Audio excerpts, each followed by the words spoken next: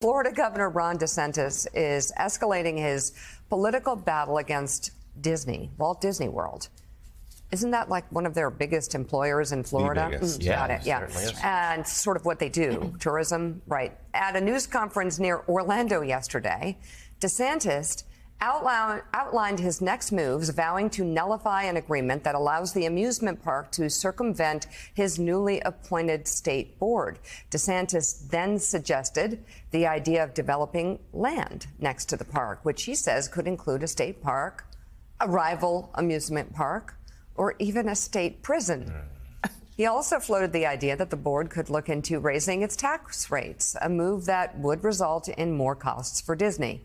The feud started over a year ago after Disney came out against Florida's Parental Rights in Education bill, which banned classroom instruction about sexual orientation and gender identity in lower grades.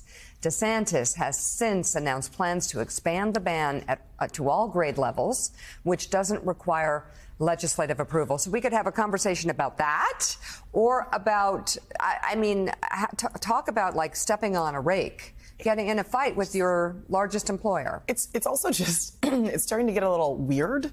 I Yeah. mean, and feel a little personal. Like if deeply. you know, I mean, deeply. I mean, you're in a fight basically with Mickey Mouse, and it's like, why is this? Why is this happening to you so personally? I mean, it is also strange because, of course, DeSantis is trying to build his national profile. And it's a pretty odd way to do that by attacking Disney World, the, the destination, uh, the desired destination of all children in America. I mean, Yeah. I- don't really see Although how that the issues helps. in which why he's attacking them, Gene Robinson, is very um, appealing, I think, locally. But I thought Mm-hmm. Ron DeSantis was working on a presidential campaign. Well, we thought so. He's not, he's not doing a very good job of it, to tell you the truth. And this is just weird.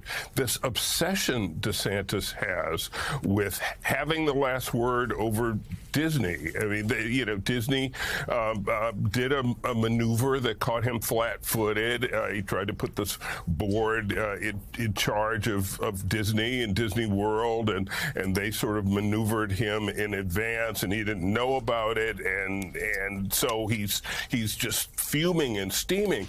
But this says a lot about Ron DeSantis and ab- about, frankly, his unfitness uh, to even think about being president. I mean, can you imagine uh, trying to conduct foreign policy with this sort of grudge match uh, Yeah. attitude, you know, toward uh, our our adversaries or our allies or anybody who, who got under his very very thin skin? This is this is uh, on the one hand really really worrisome about DeSantis, and it's also like really funny. It is the state's biggest employer. It is the place where every child in America wants to go. Why are you going to fight Mickey Mouse? This is just stupid. Yeah. And, and Katty Bob Iger, who, who runs Disney, famously said a couple of weeks ago, this is an anti-business position. He said, we're about to spend, I think, $17 billion in the state over the next few years and hire 13,000 more people and all the things that Disney does.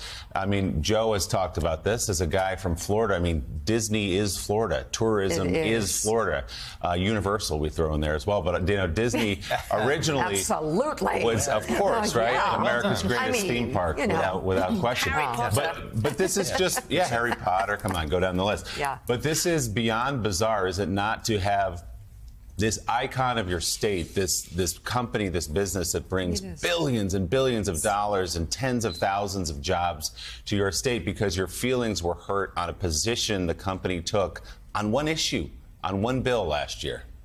Look, partly this is about Ron DeSantis, and I think it is starting to hurt him when you're st- starting to see Republican donors who had been looking forward to supporting, said they'd been looking forward to supporting a DeSantis campaign, now saying, hold on a second, some of his positions, whether it's on, you know, uh, drag parades or whether it's on banning books or whether it's on taking on Disney, it's going too far, and they're now looking at him with a little bit more skepticism. So it's going to hurt Ron DeSantis personally, potentially, as a presidential candidate. But I think it says something broader about the direction of the Republican Party. And Joe has mentioned this. You know, is, is the Republican Party oddly becoming the anti-business party, which is flipping history on its head? And it's not just in Florida. You're seeing them do it in Texas too, where the Texas legislature is starting to enact uh, social conservative rulings that could have an impact on the way that businesses are able or want to operate in Texas. And, you know, Texas is a booming state, but the Republican Party, paradoxically, could be about to hold the state back economically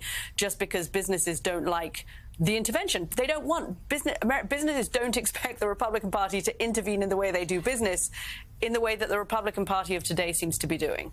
And Mika, to further Katty's point, it's the book bans, it's this fight with Disney, right. it's the restrictive abortion ban. This is right. Governor DeSantis as he's trying to build a national profile, How seemingly embracing policies and positions to that are aimed at a shrinking portion of the electorate. Certainly not enough to win nationally. And at the moment, not enough to win a nomination as he's sinking in the polls. Donors are having second thoughts. Trump has opened exactly. up his lead. Meanwhile, he's also ignored issues in his own backyard. As we were saying yesterday, the flooding in Fort Lauderdale, historic flooding My in recent God. days, never appeared. Sanders never visited the site. That's amazing. And then, of course, the 11 p.m. tweet about the six week abortion ban. I mean, it's just it's a, it, is an interesting tactic for someone who wants who's got a book and has gone to New Hampshire and you know is seemingly wanting to run for president. Again possibly what it appears to be is a losing proposition but we shall see